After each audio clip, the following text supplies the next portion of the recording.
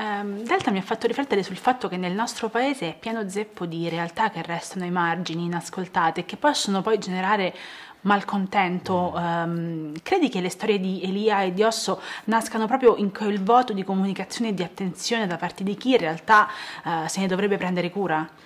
Ma Delta è un film di genere, un western contemporaneo, è un film in cui lo Stato è qualcosa di lontano, è un racconto di una frontiera, di uno spazio libero, uno spazio in cui i due personaggi sono chiamati a un viaggio che è un viaggio fisico ma anche un viaggio di scoperta di loro stessi.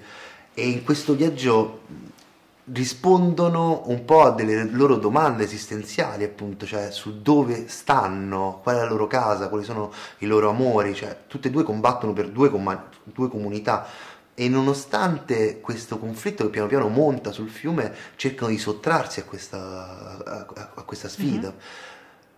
Purtroppo credo che in Italia, in tante province, c'è questa percezione dello Stato come qualcosa di lontano e questo è, sentirsi ai margini, il non essere raccontati, porta piano piano a tirar fuori delle, degli istinti più scuri.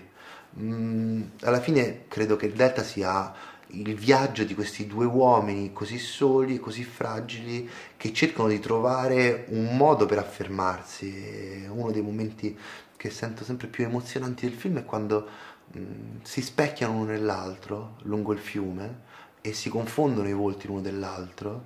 È come se qualcosa si ricomponesse dentro di loro. Ho trovato molto interessante l'uso che hai fatto uh, delle scelte musicali, non solo della colonna sonora. Volevo sapere qualcosa appunto su come nasce il mondo sonoro di questo film, mm. perché si va da Andrea Laslo De Simone a Loredana Bertè, poi ci sono delle uh, sfumature elettroniche della colonna sonora mm. e altri elementi, anche se non sbaglio, di canzoni popolari. Sì. Volevo sapere un pochino come l'avevi strutturata. Ma Delta è un film che cerca di raccontare questo conflitto che abbiamo tutti tra il nostro passato e il presente. E la storia di Osso e di Elia sono storie di persone che sono molto dentro quel territorio e quindi mh, anche attraverso il materiale di repertorio ho cercato di ridare questo peso del passato che quasi travolge Osso. E dentro questo impianto visivo eh, il, l'uso della colonna sonora è stato anche quello di sì creare una drammaturgia della tensione, perché poi è un film adrenalinico, un film di caccia all'uomo, quindi c'era bisogno di un impianto sonoro che abbiamo fatto con Teo Teardo e, e Mirko Perri al, al, suono, che desse questo, questo elemento di genere, insomma, più adrenalinico ma ha bisogno anche di tenerezza perché poi è il racconto di due uomini che cercano di essere amati mm.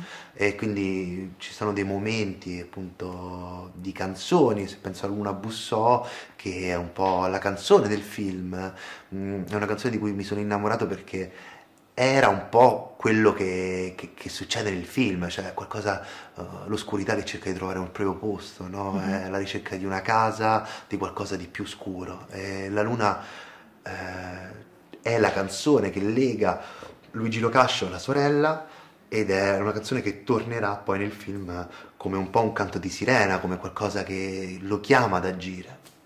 E parlando proprio di personaggi femminili, io credo che siano molto importanti all'interno della narrazione Anna e Nani, perché a un certo punto ho avuto l'impressione che siano loro anche involontariamente mm. a, a, segui- dare un, un, senso ai destini di questi due uomini. Non so se sei d'accordo. Ma sì, eh, Delta dall'inizio pensavamo fosse eh, un film così, insomma un film, un western eh, impregnato su questi due attori, eh, abbiamo, sin dall'inizio pensavo ad Alessandro, poi è arrivato anche Luigi, abbiamo creato proprio questo impianto maschile, ma quello che muove poi dopo l'amore di questi due uomini, amore familiare, amore come ricerca di un posto in cui vivere eh, per quanto riguarda Elia sono queste due donne. E mentre Nani, interpretata da Greta Esposito, è proprio tutto ciò per cui vale la pena per Osso vivere perché è la sorella da proteggere come si protegge il fiume così si protegge quella sorella Anna invece è il mio punto di vista sulla storia, è qualcosa che si muove tra queste due comunità e com, com, così lei è curios- incuriosita dal, dai luoghi che scopre, così io mi sono sentito muovere all'interno del fiume mentre scrivevo il film. Quindi scegliere un personaggio femminile a cui eh, dare il punto di vista sulla storia mi sembrava una bella idea. Insomma. Grazie mille per il tuo tempo. Prego. Grazie.